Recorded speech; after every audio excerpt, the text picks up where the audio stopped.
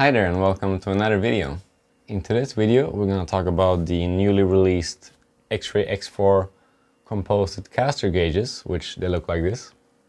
It's a very simple but neat tool which I'm going to explain what it's useful for. Because you may ask, why do you need caster gauges for the X4? The caster is fixed.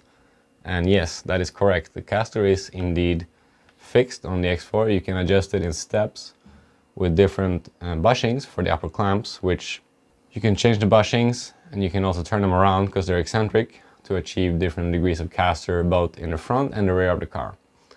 And when do you then need to check the caster angle? For example, if you had a big crash, which you fear that you had uh, damage to the car, um, it's good to have these caster gauges to make sure that the caster is still correct. But before actually checking it, I usually I take the upper clamps off the car and I put them on the board to make sure that they're flat. I mean, it's an aluminum part. It can bend. It's difficult to bend it, but it can bend. And we put it here, make sure that there's no rocking in any direction going on. Uh, but also take care and pay attention to to the aluminum part because there might be some flashings here from the thread from the manufacturing process. Make sure there's no, no flashings there that can affect um, the way that it sits on the board. So it, it can actually be flat, but there can be some little bit of aluminum left here that's causing it to not sit flat on the board, but actually then it's just a cosmetical problem because all you gotta do is, is cut it away. So once you check that, that it's straight, put it back on the car and uh, I'm gonna explain how you can use these caster gauges to check the caster on, on the X4.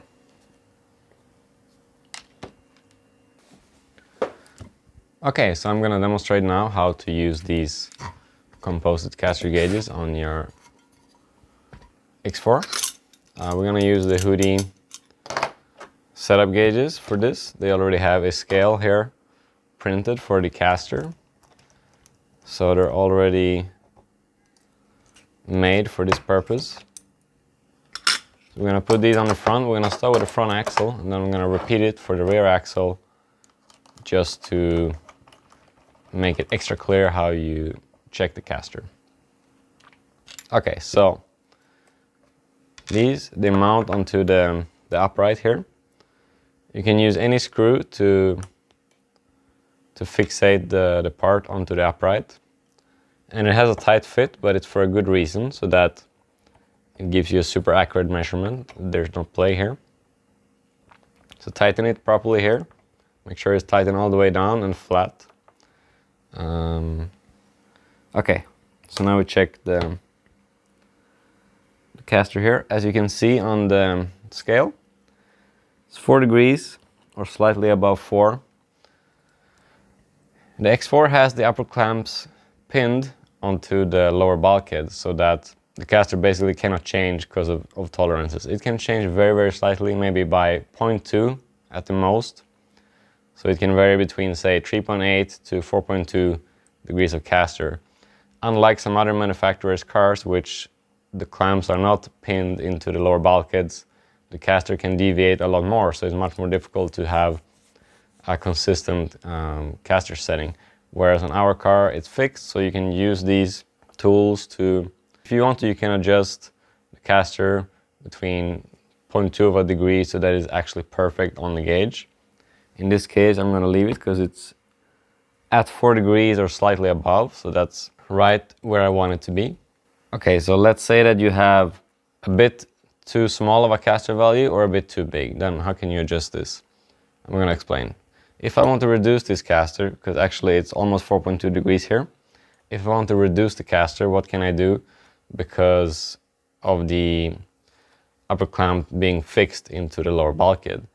Uh, there's a small tolerance here in the upper arm. For example, these screws and pivot balls here, they have a small tolerance in them, so you can actually move them a little bit back and forth here. So for example here, we can push the upper arm forward before we tighten it down, that way we can change the caster angle slightly. So now it went from 4.2 to say 4 or maybe 3.9. the scale is not more precise than that, but it definitely changed a little bit if you look closely at it. And then the second option that you have, which normally is more efficient and makes a bigger change, is to loosen the screws from the upper clamp. Then you can also shift the upper clamp back and forth. You shift it backwards uh, for more caster, or you push it forward when you tighten the screws down to reduce the caster in this case. It's very easy. Okay, now it actually reduced to 3.7 or 3.8, so we, we overdid it. But it was just to demonstrate to you that you can change the caster uh, because of the tolerance in the upper arms and the upper clamps by about 0.2 of a degree by pushing these components to the back or to the front when you tighten them down. So now we're going to push this backwards again while tightening it down and it's back to 4.1 degrees more or less caster you can play with this if you, if you want to, but the main point here is that the caster basically only changes a lot in case the upper clamps are bent. That's the main reason for having these gauges. You can play with the tolerance a little bit, but to be honest, it's really, difficult to feel the difference on the track if the caster is 4.1 or 3.9. So let's take this off, and I'm going to repeat this step quickly on the rear axle of the car, just for you to have some complete clarity in how to do this. So you can actually leave these screws here in the uprights. Uh, that way you don't lose them or you don't have to search for them for the next time that you want to check on the caster. Okay, so let's check the rear axle. Like I mentioned earlier, the caster is adjustable both in front and rear on the X4 and I've spoken about the effect of these changes in the X, X4 um, caster tech tip video, which you may have seen on YouTube. Okay, so we're gonna mount the, um, the gauge here to the left rear upright. It's important here to tighten it down completely, make sure that it's sitting flat and straight onto the upright. It's a tight fit, but it's for a good reason. Okay, so here I'm gonna explain what caster value I have here. I have the three dot inserts in the rear upper clamps with the dots to the rear. So that setting will give me three and a half degrees of rear caster.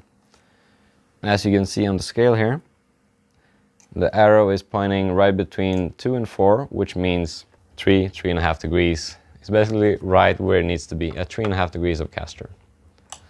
And then again, if you want to adjust this depending on the tolerance, you can loosen the upper arm or the upper clamp, push it backwards or forward, perfectly adjust the caster. And if you fear that something is bent, you need to take the upper clamps off the car, put them on the board and check. Finally, double check the, the value with the caster gauges. So that's how easy it is to use these tools. I think they're very important to have in your in your pit box because uh, in case that you have a big crash, you want to make sure that the car is perfectly straight. If the caster is off, is um, most likely coming from a bent upper clamp, which will cause the geometry to be off.